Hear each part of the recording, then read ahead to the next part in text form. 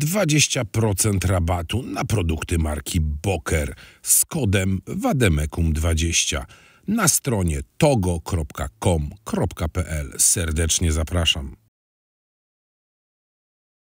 Cześć, dzień dobry. Witamy Was bardzo serdecznie e, dzisiaj gościnnie w firmie Tamet w Olsztynie. E, razem ze mną znany i lubiany youtuber Ciecierski. Dobra, dobra, dobra. Bardzo miło. Słuchajcie, e, nie wiem czy wiecie, ale Arek e, prowadzi swój kanał na, e, na YouTubie.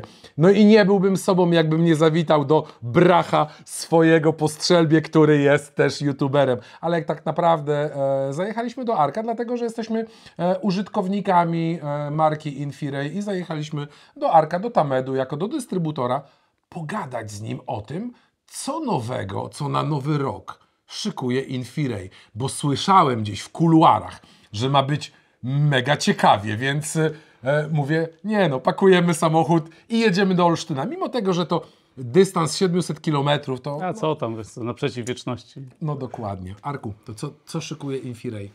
Słuchajcie, de facto to e, powiedzieć wszystkiego nie mogę, bo to wiadomo, że też mamy pewne przecieki, wiemy, ale na pewno możecie się spodziewać jakiegoś uderzenia mocnego.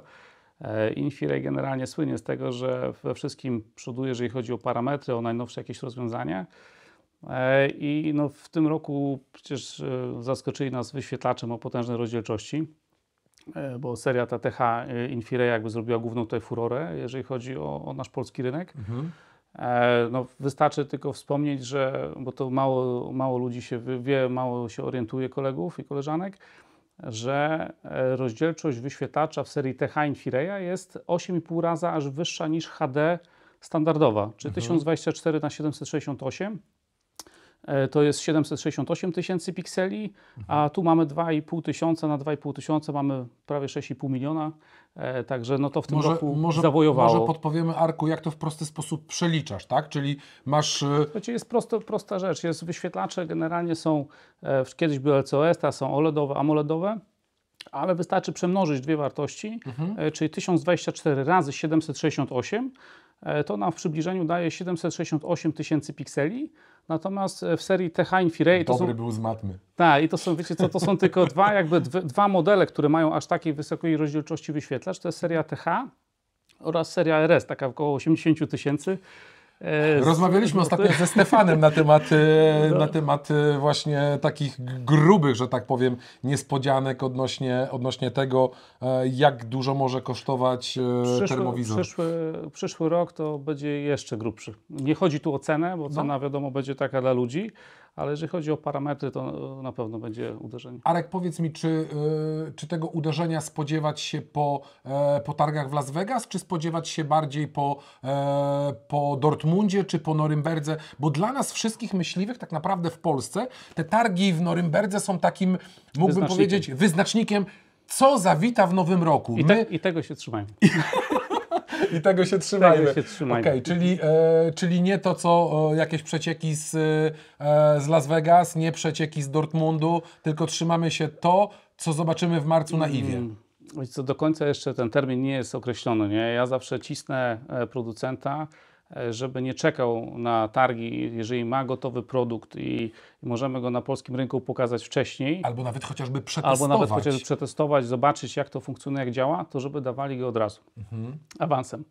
E, I no liczę, że tutaj też tak będzie. Jest taka, jest taka opcja.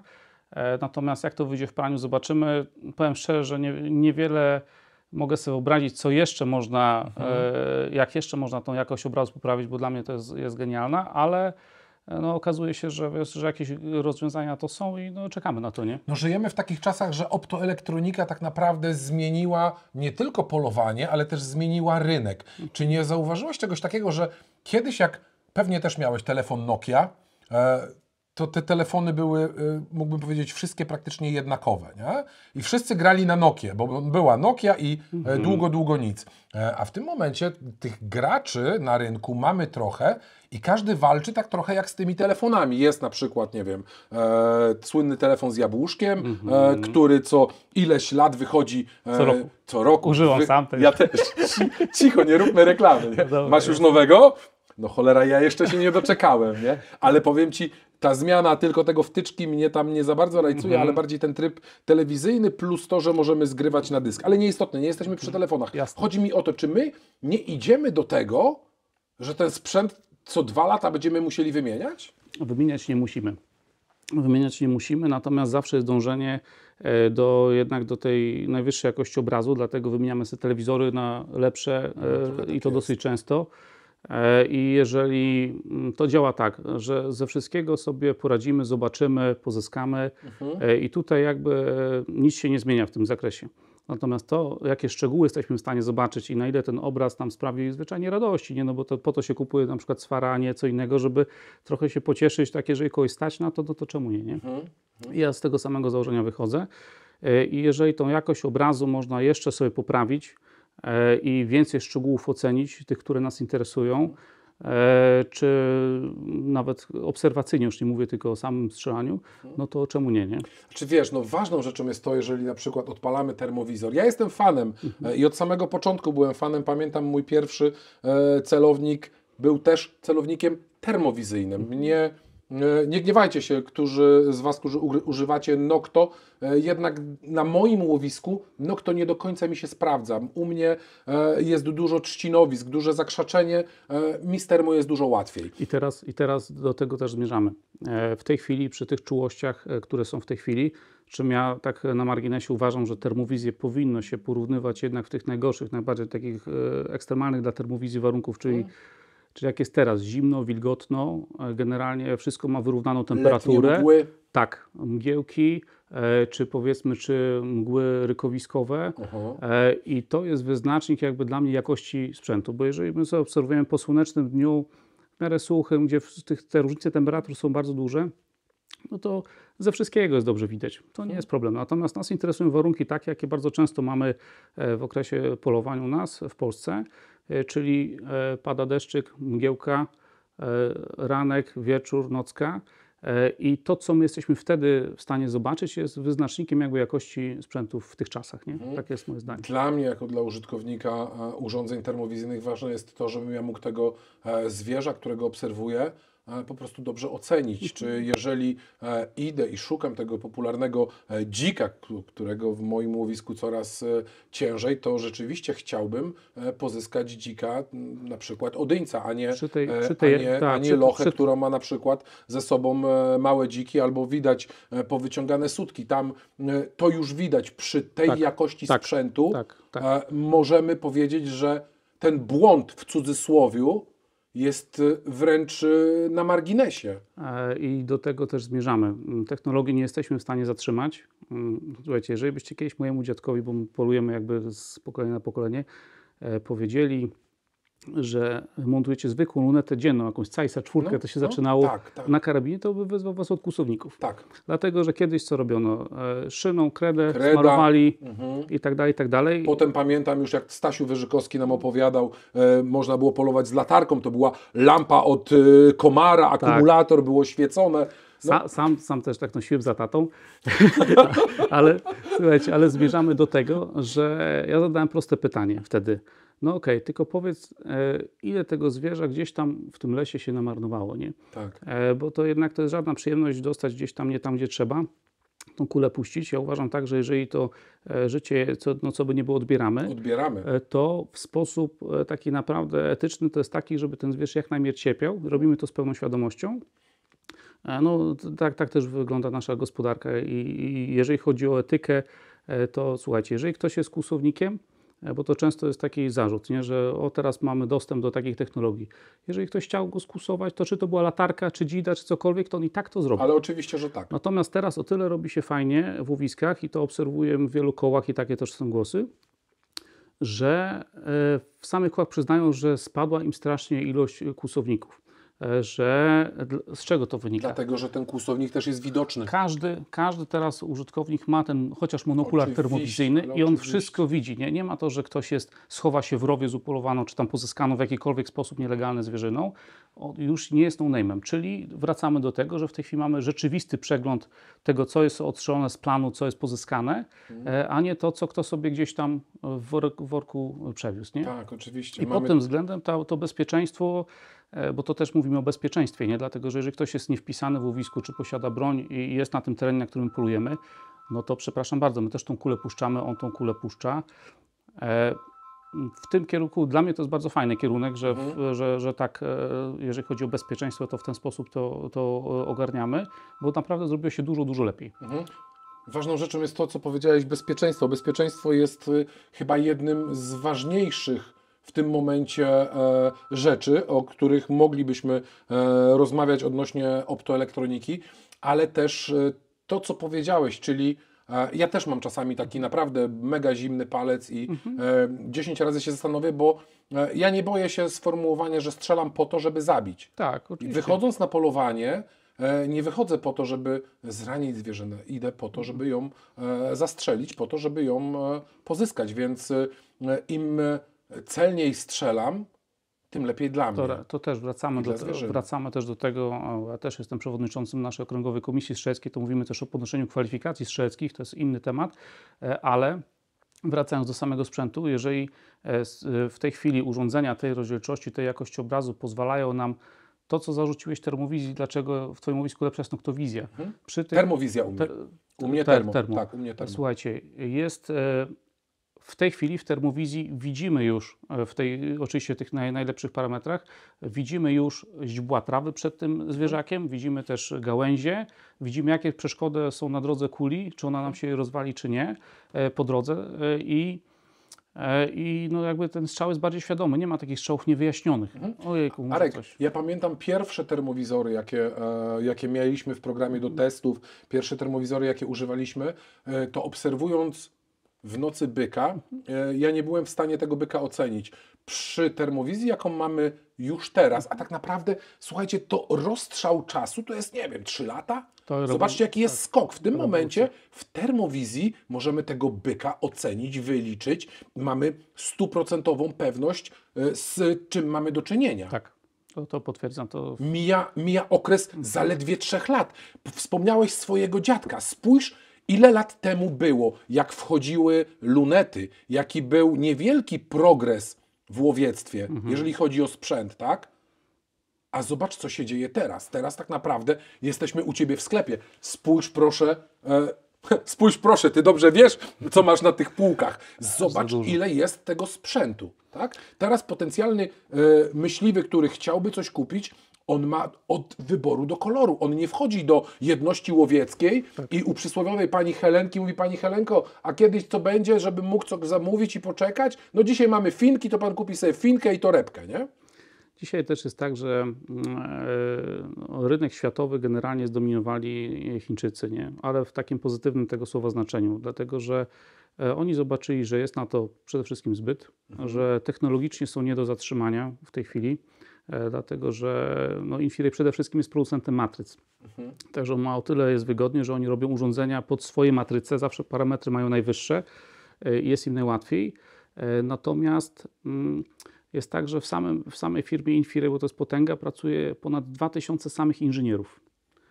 No to teraz e, są to ludzie i programiści, i zawodowcy, no, którzy e, no, za coś mają płacone. Nie? I jeżeli widzą, że okej, jest e, to i to się sprawdza, nie? my też podpowiadamy e, ze swojej strony, bo też jestem też w grupie jakby takiej e, dodany, zostałem do, też do grupy e, inżynierów, jakie są nasze zalecenia, jeżeli chodzi o praktykę, nie? na co mają zwrócić uwagę, jakie parametry są lepsze i tak dalej, i tak dalej.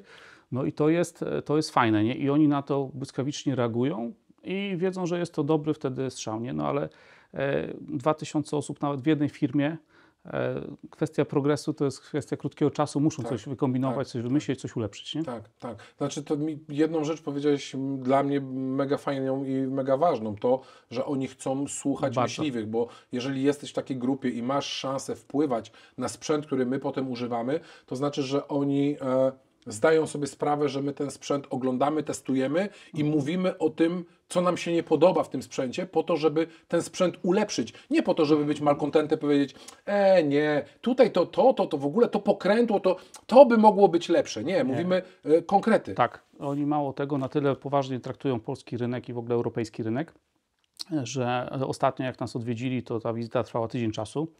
E, To nie było, to nie, to nie było, to nie, to nie było i ciężko ich było zmęczyć, bo no, nie piją. Także wierzcie mi, że nie było to wcale Nie proste. piją? Nie.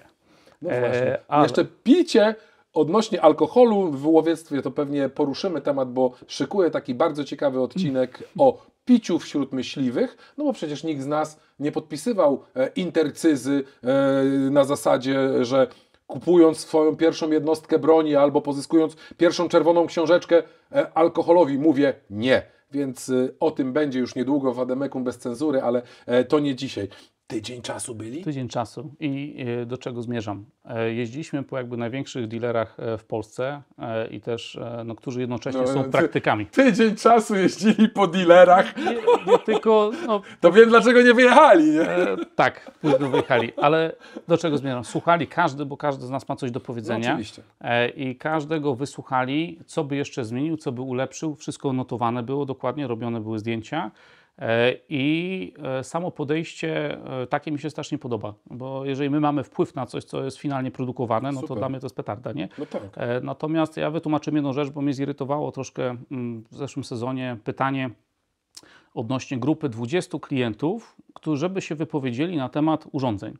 Ja mówię, słuchajcie, no to okej, wszystko fajnie, założenia marketingowe super, tylko że mija się to z praktyką. Dlatego, że jeżeli rozmawiamy z, z, z właścicielami sklepów myśliwskich, którzy sami polują, no to oni mają przegląd tysięcy klientów, a nie 20 Oczywiście. przypadkowo wybranych. Oczywiście. I mówię, takich ludzi należy słuchać, e, wnioski wyciągać, a nie jakichś pojedynczych e, gości, którzy czasami jest to ich pierwsze urządzenie, ciężko, żeby się wypowiedzieli na jakiś temat, bo nie mają porównania. No. No jednak w ofercie mamy wszystkie, wszystkie modele, e, jesteśmy w stanie sobie porównać też z innymi markami i wybrać, co dla nas jest jakby najlepsze. Także takie podejście mi się podoba i dlatego to będzie się rozwijało coraz szybciej. Często też jest tak, z takiego socjologicznego punktu widzenia, często też jest tak, że jeżeli e, kupiliśmy już coś, jesteśmy użytkownikiem, e, to niechętnie, nawet jeżeli nam się coś nie podoba, Tak. to niechętnie o tym mówimy, że jest to złe, dlatego że ktoś potem powie, no stary, no ale to kupiłeś, nie? Najgorsz, najgorsza sytuacja, jaka jest możliwa, to już tak abstrahując, jeżeli chodzi o, mm, o wizytę kolegów i koleżanek w sklepie zamierzających kupić urządzenie termowizyjne czy noktowizyjne, jeżeli przyjeżdżają tutaj razem z jakimś doradcą od siebie z koła. Słuchajcie, to jest tragedia. Bo teraz tak, nie wiadomo jak, jak powiedzieć, żeby przede wszystkim nie urazić tego, który już Doradcy. coś tam ma, dlatego że zawsze to jest taka, no to jest psychologiczne chyba, że to co on ma zawsze będzie najlepsze na świecie. Najlepsze. Ja tak, moja pierwsza Nie ma broń. dyskusji. Arek, moja pierwsza broń, przerwę ci. Moja pierwsza broń, wy pewnie znacie już tą historię, nie? Kolego, ty jesteś kawał chłopa, tu karabin 3006, nawet jak lekko kopnie, będzie dobry.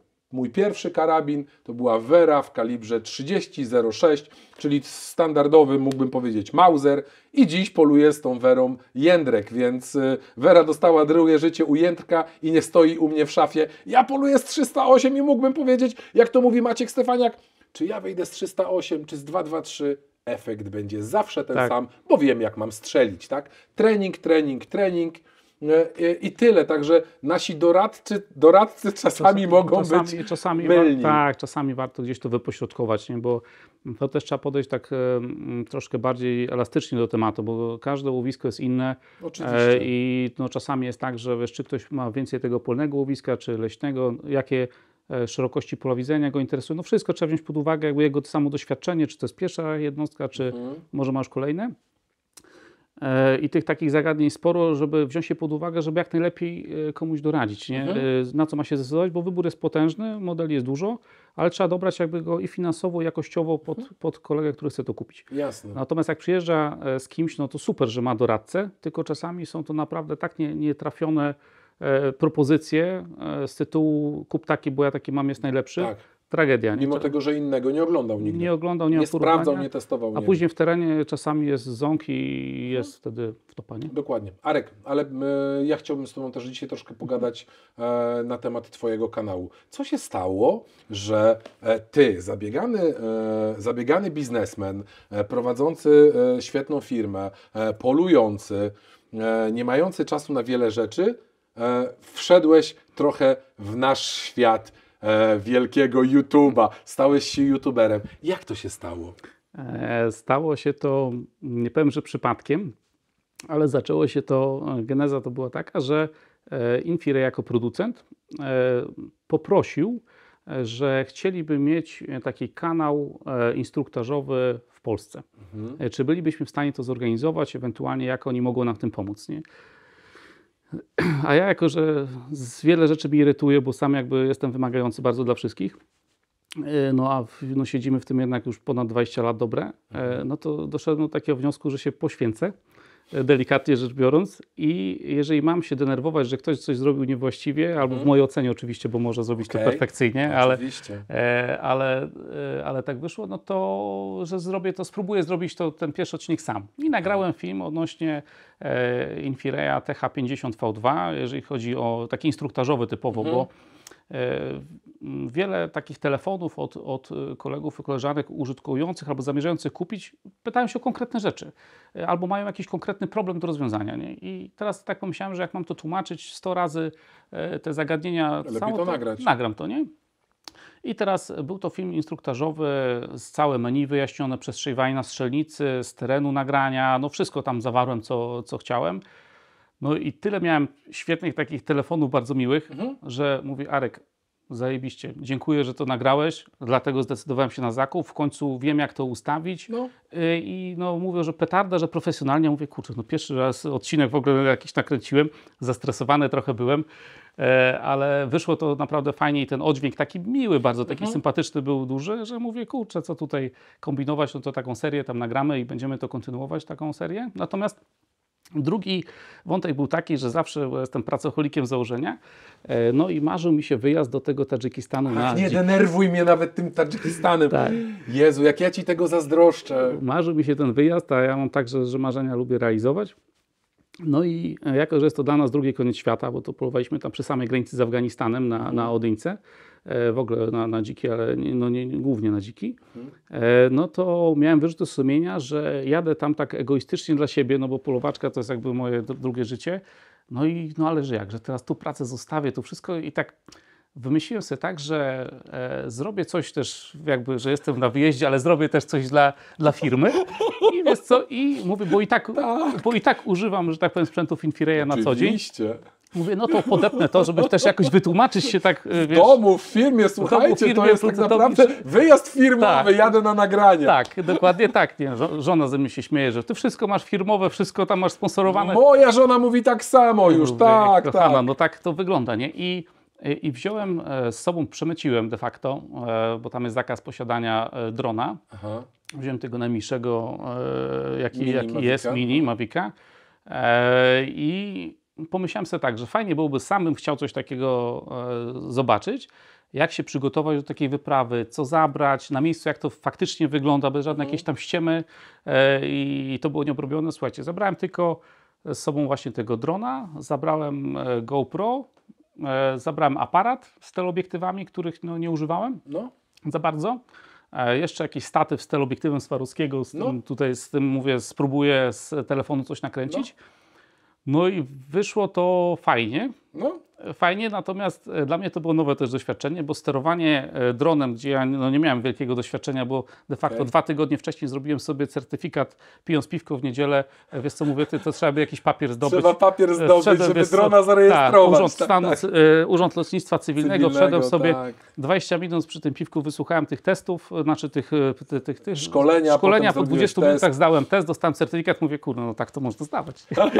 I wiesz, w każdym razie z papierami pojechałem tam i e, w, w tych różnych e, dziwnych e, pojazdach będąc, pilotowałem tego drona, który leciał za nami, nie, no bo Aha. siłą rzeczy no nie miałem operatora, wiesz, e, No, byłem no, sam. No, no. E, I do tego no, całkiem zgrabnie to wyszło, czy nawet jak te markury ścigałem tym dronem, bo dwa razy mało tego drona nie straciłem, e, ale no, wiesz, bardzo szybkie zwierzęta w, górach, gdzie możesz wszędzie go stracić, tego drona, no to ścigasz, tu bateria się kończy, ale jeszcze go tam dojadę, jeszcze Tak, kawałek jeszcze dojadę. pokażę, jak on wygląda tak faktycznie, no Tak, bo tak. to są bardzo drogie w pozyskaniu zwierzęta, bardzo egzotyczne. E, No i tu wyszło. No i tak powiem szczerze, że wszyscy są jakby zadowoleni, zachwyceni. Tym przy okazji zrobiłem filmik reklamowy dla Infireya. W ogóle oni zachwyceni, że, że tutaj taki pomysł w ogóle, że jaka realizacja nie? I, No, i w ogóle. A to zrobiłem sam za własne pieniądze, nikt mi za to złotówki nie dał, ale taką satysfakcję wewnętrzną mam, nie? że mogę też się podzielić tym, co gdzieś tam się przeżywa, nie? jak to wygląda e, i to jest fajne, bo Fajnie jest, to, że, jest fajny. fajne jest to, że możesz e, też e, no, pokazywać swoją pasję, tak? No bo nie tylko A. realizujesz się w e, firmie, ale też, e, ale też i na polowaniu. E, mi, jako użytkownikowi, podoba się to, że e, wchodząc na Twój kanał mogę e, pewne rzeczy techniczne zobaczyć, tak? Tak. Czyli wszelkiego rodzaju przeklikanie instrukcji, e, opowiedzenie o tych instrukcjach dla mnie, jako dla użyt- użytkownika, czy dla każdego pewnie z Was, e, może być bardzo, e, bardzo pomocne. Dla mnie to jest bardzo proste, bo robimy to na co dzień. E, I no, to są rzeczy takie jakby oczywiste, a przy czym e, no, o tyle jest fajnie, że jest mi łatwiej o tym opowiadać. E, Bo zwyczajnie wiem, z czym ludzie mają problem, albo jeżeli chcą się zdecydować na któryś model, to jak ich nakierować tak, żeby to było najlepsze dla nich w tych warunkach, w których oni polują. Bo wiadomo, ten wachlarz jest duży, nie można szablonowo podejść do, do tematu, tylko trzeba wszystko poznać i, i to jest fajne. I tak samo mi się podoba, takie szkolenia też robiłem dla, dla, dla sprzedających w sklepach myśliwskich, żeby nie podchodzili tak szablonowo do, też do klientów, do, do wszystko to są przecież koledzy, koleżanki, razem polujemy, później Tak. spotkamy się najczęściej w łowisku. I ktoś Ci powie, Ty Arek, ale to nie działa. Tak, i ja mam jedną w życiu zasadę, że zawsze doradzam tak, jak sam bym chciał, po prostu, żeby ktoś do mnie podszedł. I to się sprawdza. Czasami, e, czasami no, biznesowo to nijak się ma to podejście takie stricte, ale zawsze się ono opłaca, bo zawsze, zawsze ci koledzy, koleżanki wracają, mają do mnie pełne zaufanie i czasami są takie śmieszne sytuacje, jak tutaj dziewczyny czy obsługujący są, gość przychodzi, no o lornetkę chce kupić, no półtorej godziny, no wiesz, pyta się parametry, to tam, to siam, to nie. Ja wejdę, mówię, Arek, to którą kupić? Ja mówię, że tą, nie? To poproszę.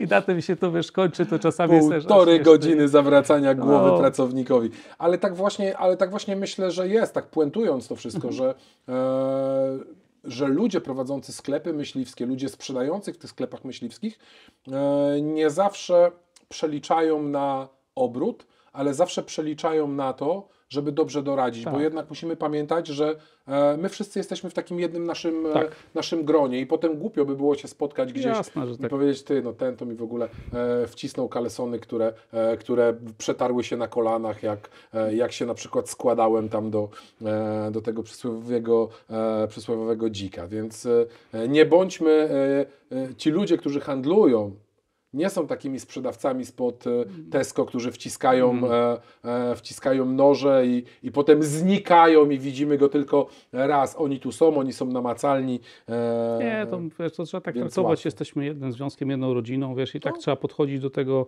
e, tak naprawdę w porządku, nie? Jak trzeba pomóc, to wiadomo, że zawsze trzeba Mhm. e, i tam nie ma w ogóle tematu żadnego, nie? Ale e, te relacje jeszcze takie z właśnie, no, ja to uwielbiam, dlatego że nie dość, że spotykamy się z świetnymi ludźmi, e, jest to powiązane e, też z, e, z biznesem. Jadąc do, wiesz, de facto w podróż biznesową, biorę karabin, mogę zapolować po drodze, wiesz, jednego, drugiego, Skąd trzeciego. to znam, skąd to znam. Super, dla, mnie, dla mnie bomba, nie? No, dla mnie też. Arku, jakie plany e, takie już można powiedzieć firmowe, niezwiązane z Infirejem na 2.24? O, ciężki, ciężkie pytanie, bo takich planów nie mam, bo to tak się wszystko ładnie nakręciło i, i mm, że utrzymanie tego i ewentualnie rozwinięcie troszkę do przodu, no to to nam i tak zajmie, no, zajmie cały rok, nie? Jasne. W zeszłym roku nie zauważyliśmy w ogóle przerwy między sezonem a poza sezonem. Mm, W ogóle to ostatnie dwa lata tak obserwuję, że, że te granice się zacierają, Zacierają i roboty jest po prostu cały, e, cały rok. Ciężko znaleźć dla siebie gdzieś tam lukę, żeby gdzieś nawet wyskoczyć na jakieś polowanko za granicę czy coś i e, także będzie intensywnie na Czy widzimy się na targach w Poznaniu i w Krakowie? Zawsze.